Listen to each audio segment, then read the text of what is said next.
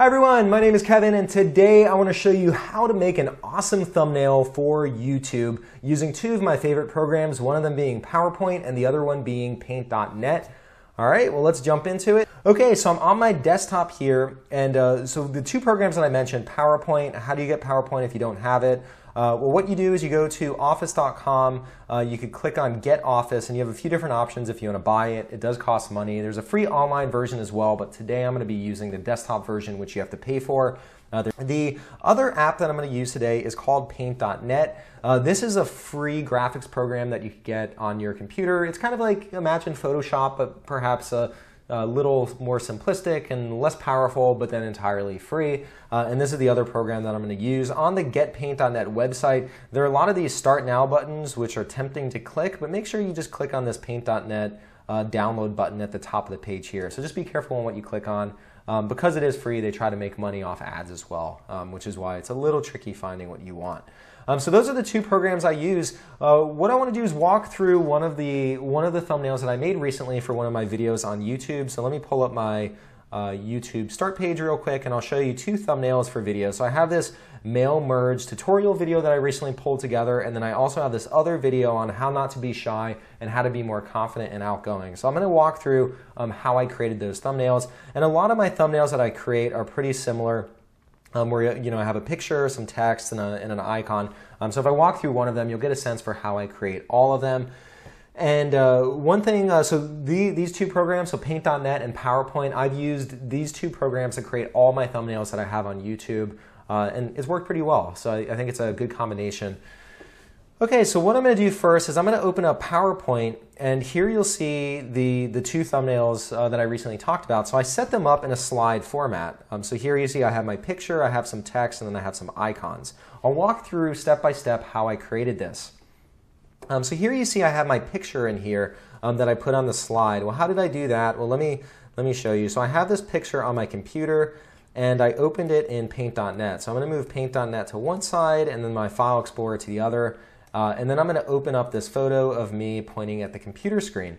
And what I want to do is I want to get my picture away from all the background material there. So they have a thing called the uh, lasso tool, so I'll click on that. And then what I did is I just kind of went around and I selected my body here, and my head. And um, so obviously in the actual thumbnail, I took a little bit more time so it doesn't have all these jagged edges and whatnot around my body there. I want to make sure I don't cut off my finger. Uh, and then I'll kind of go around. And so this is my area of selection. So I'm going to hit the delete key, get rid of all the stuff around me, and I'll just kind of delete all this extra stuff over there. Let's delete this too. Um, and there you have it. Uh, I'm going to go ahead use a rectangle tool, uh, and then I'm going to select myself. So I just copied it. And now I could bring that over to PowerPoint and I'll paste it in. And so there, there's a little more rough version of what I created originally. Um, and then what's nice about PowerPoint is you have all these different photo correction tools. So I can click on Format, corrections, and then here I could increase the brightness, uh, and that matched the brightness that I used in my thumbnail. And you know here, what I could do is I could drag to um, expand the image, and then so there it's about that same size. Um, so there I put the image in. Um, these different icons that I use, uh, the way I typically get these, so this is just the Word, Excel, um, Outlook icons. Uh, what, I'll, what I typically do is, uh, you know, here if I go to Bing, um, let me open up Bing, and then I could type in Word, let's say Microsoft Word transparent um, icon, and then I'll go to images. and uh, so here's a transparent version. This isn't really, this is one of the older icons, uh, but I copy that and then I could paste it in. The nice thing about using a transparent image is you could put it over anything else and you have that transparency around the edges. So here I would put that in. Uh, by the way, these are the new Word, Excel, um, Outlook icons. Pretty, pretty nice, uh, pretty modern um, compared to the older icons. Um, so there I, I, put the icon in and then I could adjust the different size. Um, and then I have this header here. This is my kind of title. Uh, usually what I try to do is I want text that really reflects what the video is about. Just a few short words where someone could glance at the thumbnail and get the idea of the video. Um, and then here I could just go to uh, insert text box um, and I could type in mail merge uh, tutorial. Um, and then here I could blow up the size a little bit. I could choose a different font and maybe I adjust, give it like a nice gray versus the stark black. And then here I could uh, position it in. So I, I, did that originally. So I put my text in there. Um, and then the last thing I did is I have kind of a slight gradient in the background. If I go to design, um, and format background. You know, here I could apply um, different gradients. So I could go with a blue instead. I could go with a yellow instead. So it's really easy just to kind of transform and play around with um, your thumbnail here. I'm going to go back to my, um, ooh, that kind of like the blue. That's kind of nice. So if I do that, um, and uh, so if you look at this other thumbnail I did, that's very similar where I kind of cut out the images and then it's transparent in back and then I just inserted these uh, icons. And here too, I have this gradient in the background. Um, so in this thumbnail, I used the same technique as what I did in the previous uh, thumbnail that I showed you. Um, so uh, pretty, uh, pretty versatile and you could use it across uh, different videos that you're doing. Um, but what I could do is once I'm done with my thumbnail, um, I simply go to File, Save As. Um, it's PowerPoint, so you think, well, hey, I'm saving a PowerPoint. Um, how do I get it into a format that YouTube wants? Um, so here I go in and then I click on the file format that I'm going to save as. So by default, it saves it as a PowerPoint presentation. Uh, but what I can do is uh, here I could go down and I could save it as a JPEG, a GIF, or a PNG, um, depending on the format I want. YouTube takes uh, JPEGs, um, so here I could go ahead and save it, um, and then I could uh, I could save my file.